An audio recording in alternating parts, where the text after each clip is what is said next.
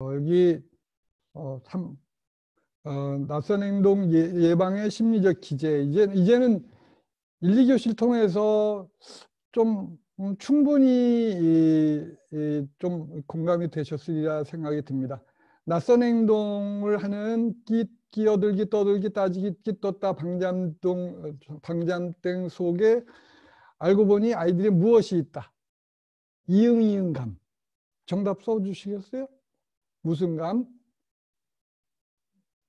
알고 보니.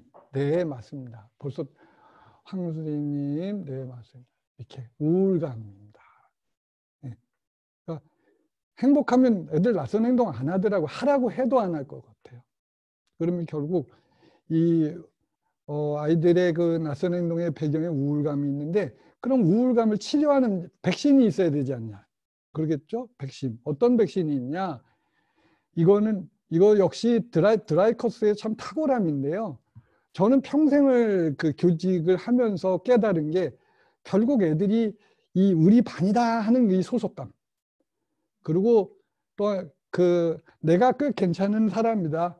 어, 그런 자존감. 이 두 가지가 아이들의 우울감을 이겨낸다고 봤고 봤는데 드라이커스도 이미 90여 년 전에 이 생, 이걸 딱 두 가지 키워드를 발견해냈더라고요. 소속감과 자존감.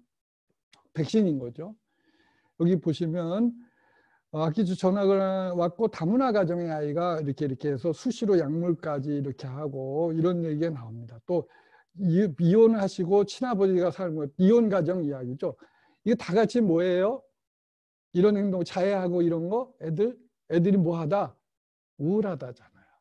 근데 아 그러면 애들은 우울을 어떡하라고 우리가 신경정신과 의사야 신경정신과 의사가 아니어도 할 수 있다. 우리는 수업을 통해서 또 학급 운영을 통해서 할 수 있다.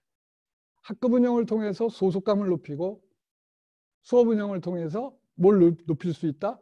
자존감을 높일 수 있습니다. 저기